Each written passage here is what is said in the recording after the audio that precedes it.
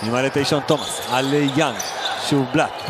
הולכים פנימה, תומאס עם הוו, תומאס מדייק. תודה רבה עמרי. בלאט. לתומאס, תומאס ייקח את זה פנימה, ותומאס יסיים עם הדנק. תשמע, אם ירושלים תלך כל התקפה פנימה לגבוהים, יודעים שמאמנים בצדק אוהבים לעשות את זה, ירוויח גם את השתי דקות הנוספות של ה...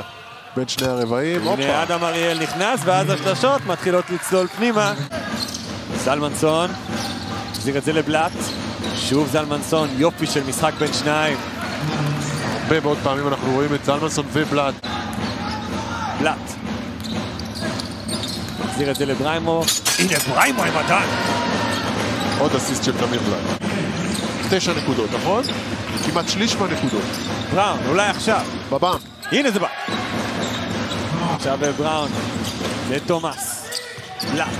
מוצאים צעדים בצד של נהריה, אולי באמת היו עוד ניסיון של בראון, והנה, אחת מגיעה, מיד אחת אחריה. בלאט מתחיל ראיתי- מחדש. ראיתי שרשמת עוד ריבאונד. הנה זה הולך לבריימו! הנה הפסק זמן. 8-0, זו הריצה. 39, 31.